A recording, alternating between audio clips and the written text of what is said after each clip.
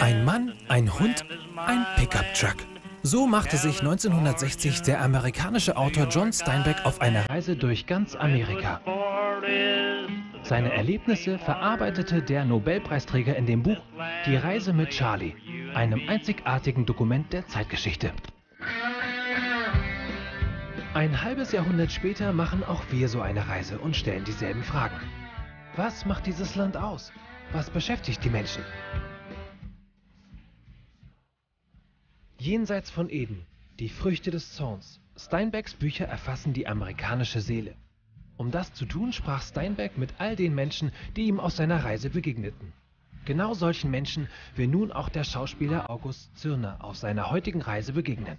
Armen und Reichen, Jungen und Alten, Insidern und Außenseitern.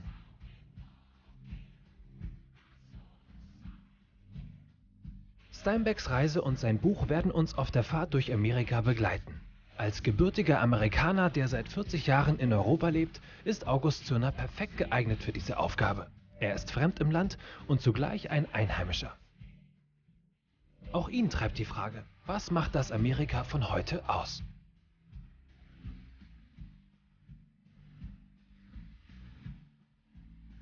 Steinbecks einziger Gefährte auf seiner Reise war damals sein Hund Charlie. Und natürlich zieht auch August nicht alleine los.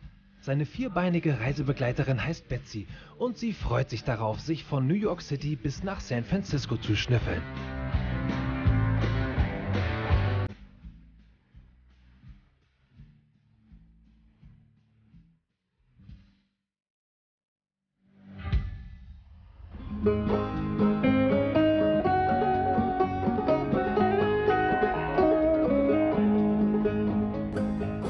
Dem Trubel der Millionenstadt New York wirkt die Hauptstadt Amerikas 500 Kilometer weiter südlich geradezu beschaulich.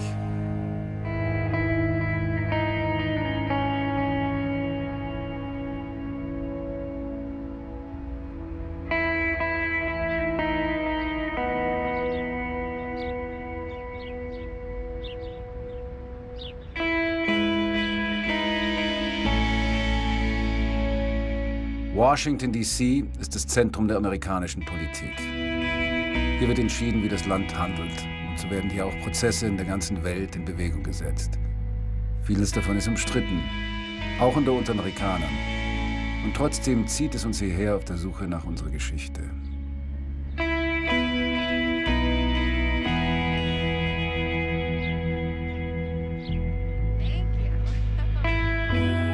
Unsere Regierung ist auch für uns Amerikaner ein Quell der Verwunderung.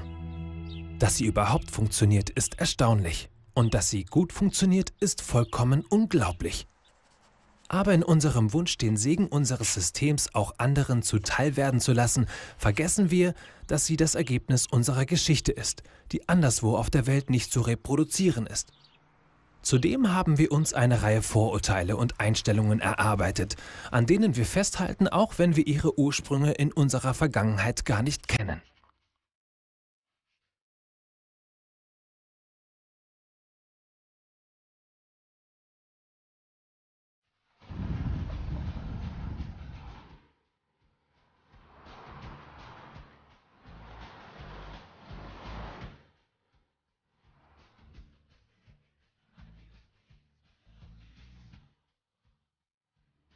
In dieser Stadt wohnt aber auch einer meiner ältesten Freunde. Wenn ich schon hier bin, muss ich ihn besuchen.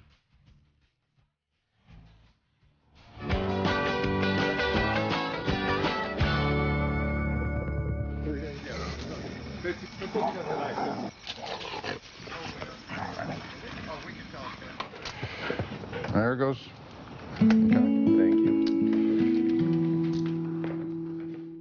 Andrew und ich sind in Illinois gemeinsam zur Schule gegangen. Damals waren wir unzertrennlich. Heute sehen wir einander viel zu selten. Er hat eine ganz andere Karriere eingeschlagen als ich. Er wurde Polizist in Washington, D.C. Unsere Lebenswege sind sich ähnlich, obwohl wir sehr unterschiedliche Berufen nachgehen. uh, Ich wurde das, was ich wurde, und du bist Polizist in Washington geworden. It turned out, without me planning for it at all, Ich hatte nicht damit gerechnet, aber es ist der perfekte Beruf für mich. Was mir daran gefällt, ist, dass man die Uniform anzieht und dann sofort jeder weiß, was man ist. Right away. And it gives you this Und damit kann man überall reinspazieren und mit jedem reden. Jeder, sogar ein 17-jähriger Kerl, redet gerne mit Polizisten. Das sind einfach Symbolfiguren, mit denen man gerne spricht. talking to the cops. I mean, cops are just sort of, I don't know what the word is, iconic figures, and people like talking to them. Als wir uns nach 20 Jahren zum ersten Mal wiedergesehen haben, wurde mir bewusst, dass mein bester Freund eine Waffe trägt. Wir waren doch Pazifisten und gegen den Vietnamkrieg. Ich war mir erst nicht sicher, was ich davon halten soll. Klar, das kann ich verstehen. Damals hatten Polizisten öfter die Waffe in der Hand. Da ging man doch in verlassene Häuser, in denen Menschen hockten und Drogen nahmen. Man rannte durch die Gassen immer bewaffnet. Aber ich glaube, dass ein Polizist selten jemanden erschießt. Ich habe das aber getan. Ich hörte einen Kollegen in der Nähe eine Verkehrskontrolle durchführen und er rief, der schießt auf mich. Ich fuhr hier lang und dort flog ein Auto über die Brücke und krachte in stehende Autos rein. cars down at the bottom of the bridge that were stopped at a red light. Jemand stieg aus und ich dachte mir, das wird er sein. Er rannte die Straße runter mit seiner. Waffe in der And Hand. Und dann stieg da auch noch ein Mann aus seinem Auto und der Kerl packte ihn. Of his car. The guy comes up to Ich schrie noch, Polizei, Waffe fallen lassen. police dropped the gun. Aber er setzte sie dem Mann an den Kopf und sagte, ich knall ihn ab. Und dann setzte der Instinkt ein. Er zielte plötzlich auf mich und dann schoss ich und tötete ihn.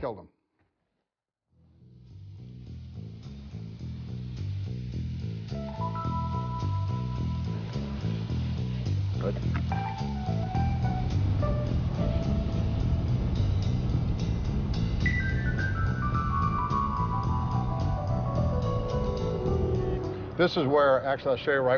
Ich zeige dir noch, wo meine Schießerei war. Hier die Straße runter. Er rannte die Straße entlang und ich hinterher. Dann da um die Ecke. Ich stand an dieser Wand. Wo war er? In der Kuhle right dort. So nah? Wenn die mich gefragt hätten, wie weit ich von ihm entfernt war, hätte ich 24 Meter geschätzt. Aber es waren höchstens 6 I was Meter. 12 feet from him or 15 feet or something. And you were shooting at that Auf die Distanz habt ihr geschossen. Er kam nicht dazu. Ich war schneller. Ist Sonntag weniger los? Action or Sunday's a day when, believe it or not, Sonntags stehlen Männer Autos vom Kirchenparkplatz, fahren an die Tankstelle und klauen die Handtaschen von alten Damen, die gerade tanken. steal purses from old ladies as they gas up their cars.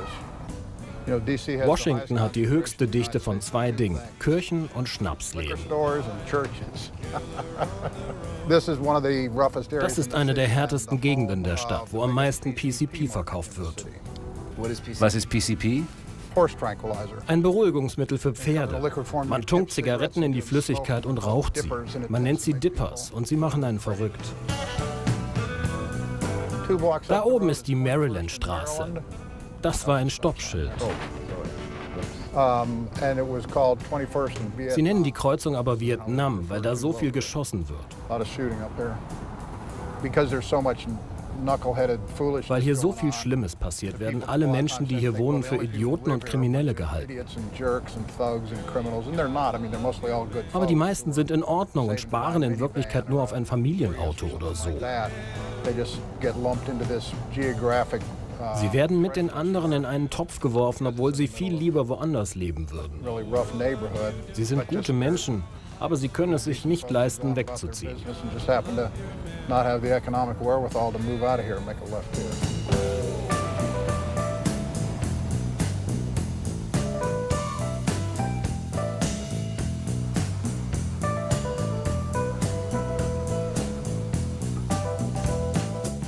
Mittlerweile unterrichtest du an der George Washington University. University. Yes, I've been doing that for five or six or seven years. I love it. Yeah. Das mache ich jetzt seit fünf, sechs Jahren und es macht Spaß. Die meisten der Schüler sind Polizisten und denen sage ich, meine Karriere ist vorbei, ihr müsst jetzt übernehmen. Eine der Sachen, die wir nach Ferguson und all den schlimmen Ereignissen in den Jahren 2014 und 2015 in den Griff bekommen müssen, ist die Beziehung der Polizisten zu den Gemeinden. Denn die sind kaputt gegangen. Wir dachten, dass wir in Ferguson, Missouri, Cleveland und Long Island gute Arbeit leisten. Aber die Menschen vertrauen uns oft nicht. Sie stehen nicht auf unserer Seite, sondern arbeiten gegen uns. Was tun wir also? Ich glaube, wir müssen als Polizisten unseren Arbeitsprozess ändern und mit den Gemeinden zusammenarbeiten. Wir müssen an unserem Verhältnis zu den Menschen arbeiten, besonders zu denen, die eine andere Hautfarbe haben und denen, die nicht wollen, dass die Polizei in ihrer Gegend unterwegs ist. Wir werden nicht mehr als Helden wahrgenommen, die alles verbessern. Wir werden als Teil des Problems gesehen. Das ist die Herausforderung und ich glaube, wir müssen dazu an jeder einzelnen Beziehung nach der anderen arbeiten.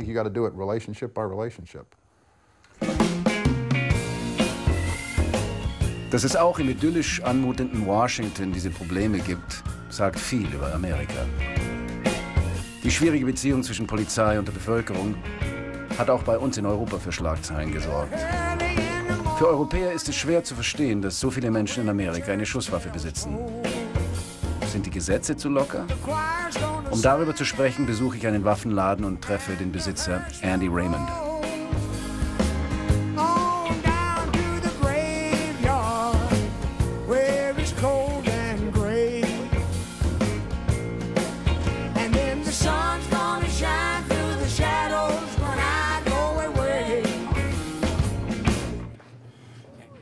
Halten Sie die Waffengesetze in Amerika für ausreichend? Wir haben hier im Gegensatz zu Europa in der Verfassung verankert, dass wir Waffen besitzen dürfen. Ich finde sogar, dass wir zu viele Gesetze haben, die gesetzestreue Amerikaner davon abhalten, ihr Recht auf Selbstverteidigung auszuüben.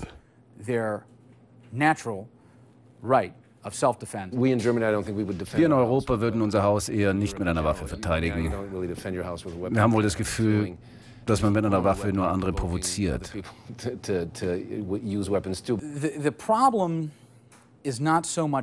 Das Problem liegt weniger an den Waffen an sich. Klar, sie machen eine Situation tödlicher. Aber es geht auch immer um städtische Probleme, Armut, Drogen und dergleichen. Wenn man den Menschen die Waffen nimmt, behandelt man nur die Symptome und ignoriert die wirklichen Probleme, die zur Gewalt führen. Man sagt, wenn wir den Menschen die Waffen nehmen, bringen sie einander nicht um. Aber das stimmt so nicht. Amerika ist da sehr anders als Europa. Es kommen hier oft Europäer rein, die anderer Meinung sind. Wir teilen viele Gedanken, aber wir haben eine ganz andere Geschichte und Kultur. Unsere Haltung zu Waffen stammt aus der Gründerzeit. Da zogen die Siedler Richtung Westen in feindliches Gebiet und besetzten das Land. Das ist jetzt mein Land. Irgendein Ureinwohner fechtet das an? Na dann mal los. Wer am Ende noch steht, der hat gewonnen. Whoever ends up standing in the end controls the land. That's all it is. Seit unserer Gründung, als die Niederländer und Briten ankamen, drückten wir der Wildnis unsere Lebensberechtigung auf. Dabei hat sich die Einstellung bewährt, dass die Waffe heilig ist, dass sie dem Einzelnen zusteht und für Freiheit sorgt. Der Gesellschaftsvertrag ist in Europa stärker als hier. Uns geht es mehr um die Rechte des Individuums als um jene der Gruppe. Da unterscheiden wir uns von der europäischen Sicht.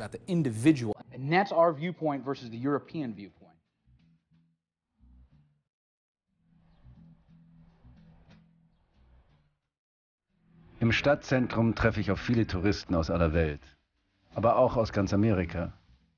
Die Stadt ist so entworfen, dass es an jeder Ecke etwas zu sehen gibt.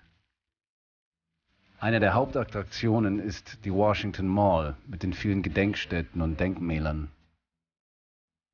Dieses ist dem Zweiten Weltkrieg gewidmet, der für viele als einer der größten Glanzmomente der amerikanischen Kriegsgeschichte gilt.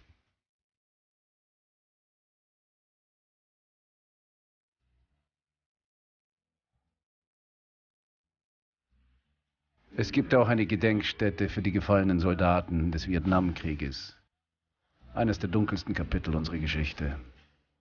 Mit meinem Freund Andrew habe ich damals, wie viele andere, gegen diesen Krieg demonstriert.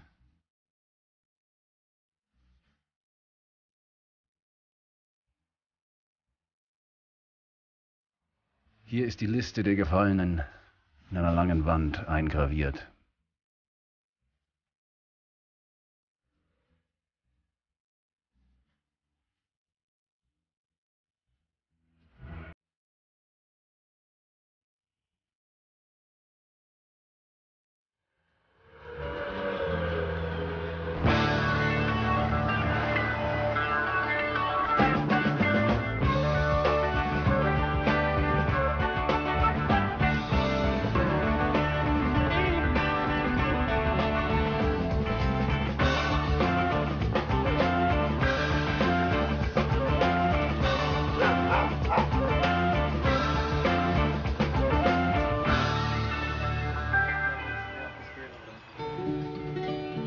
Bei Ice-Tea und Sonnenschein treffe ich auf eine erstaunliche Gruppe von Damen, die seit den 60ern in der Washingtoner Polit Society aktiv sind. Zwei Journalistinnen, die ab dem Zweiten Weltkrieg führende Funktionen in ihren Redaktionen inne hatten, eine Fotografin, die 20 Jahre lang die Karriere von Hillary Clinton begleitet hat und eine Anwältin, die im Weißen Haus unter anderem für John F. Kennedy tätig war.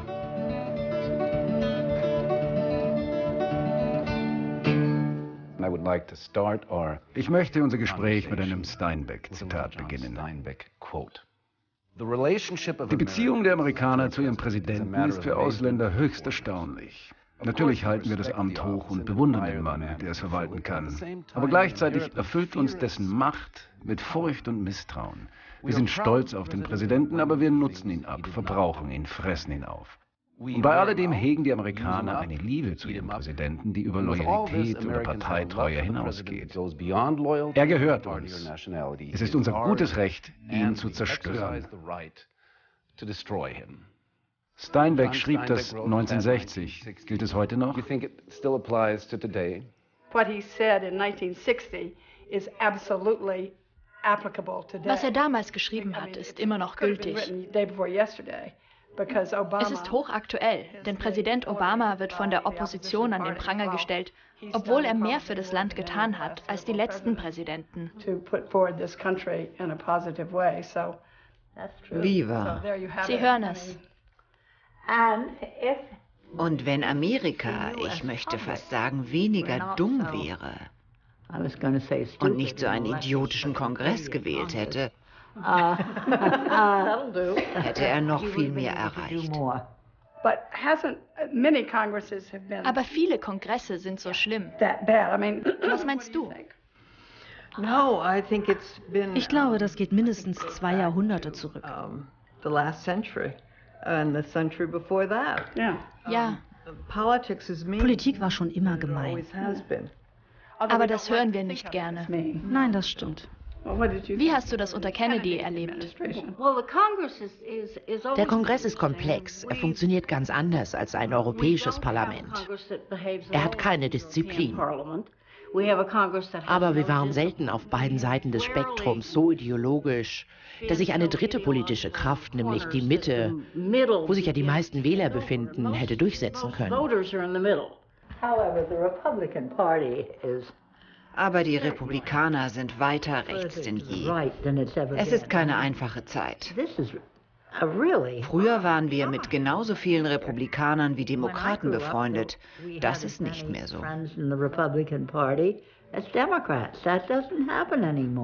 In the 60s, you had, for instance, in den 60ern waren bei so einem Abendessen beim Herausgeber der Washington Post alle dabei.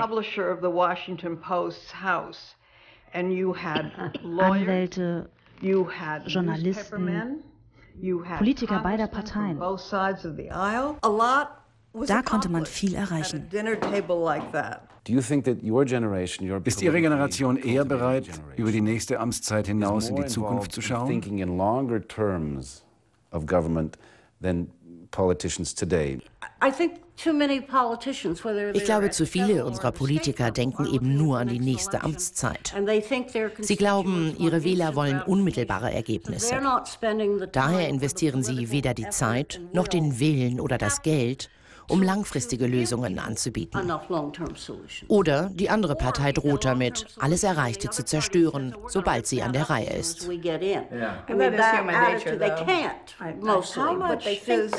Welche Rolle spielt dabei das Internet? Help or hurt. Ich glaube, junge Menschen wissen schneller mehr. Glaubst du nicht? Oh doch. Aber geht das Wissen genug in die Tiefe? Das muss es nicht. Sie legen einfach los.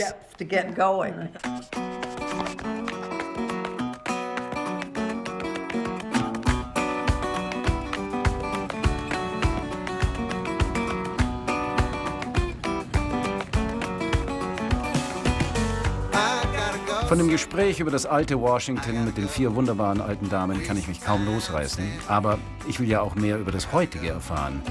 Dazu gehe ich in die Innenstadt, wo die jungen Entscheidungsträger von heute leben und arbeiten.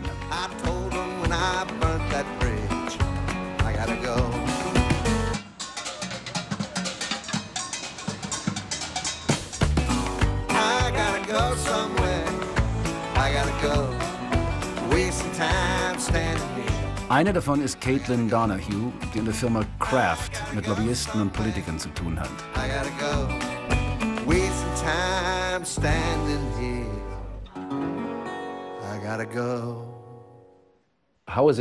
Wie ist es in Washington zu leben? From your experience? Das Leben hier ist besonders. Jede Stadt hat ihr Ding. New York die Wirtschaft, LA die Unterhaltung und Washington DC die Politik. Spüren Sie als Lobbyistin eine Verantwortung?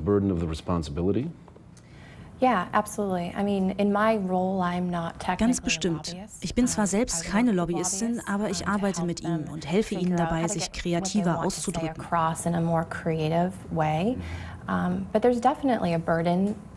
Viele Menschen haben eine negative Sicht auf den Lobbyismus. Aber in Washington ist er unser aller Lebensinhalt und wir sind stolz darauf. Ich spüre daher stark die Verantwortung, unsere Arbeit im besten Licht darzustellen. Wir dürfen nicht scheitern und nichts Falsches tun, damit die Menschen sehen, dass unsere Arbeit gebraucht wird und dass sie richtig ist needed, but, it, but it's right.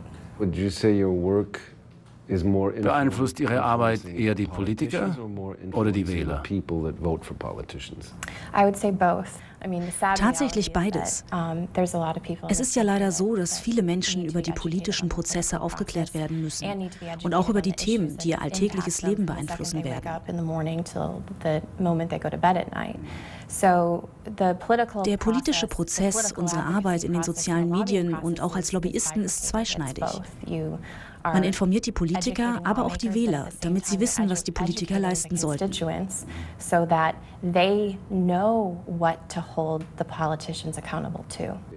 Ist das stressig? Ja, natürlich. Arbeit und Privatleben sind hier kaum getrennt. Das ist toll, aber auch eine Herausforderung.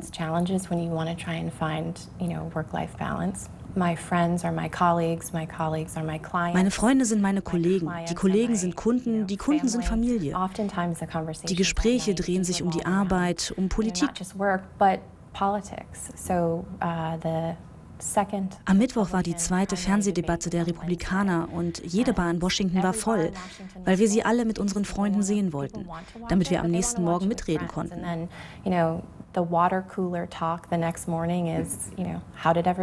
Wie haben sie sich geschlagen? Wie fandest du Trump oder Fiorina? Das ist hier normal.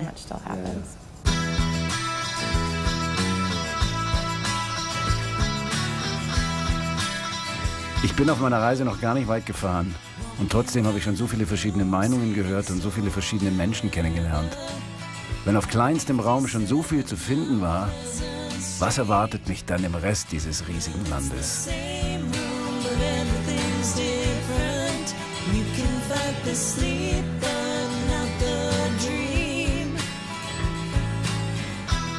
Wie werden die Amerikaner agieren und reagieren auf die neuen Umstände, für die neue Regeln geschrieben werden müssen?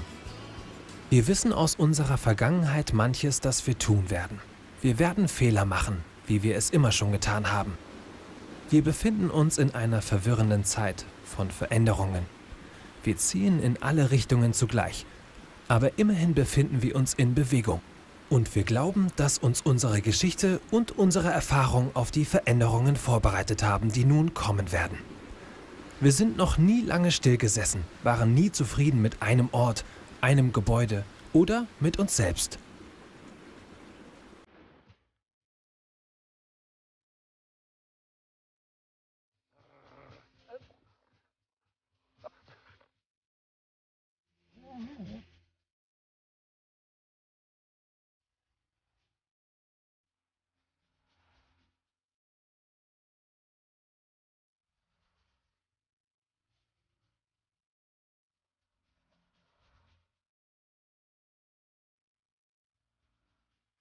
Die Ostküste ist faszinierend. Aber jetzt zieht es Betsy und mich in den Süden, ins Landesinnere. Unsere Reise geht weiter nach Atlanta im Bundesstaat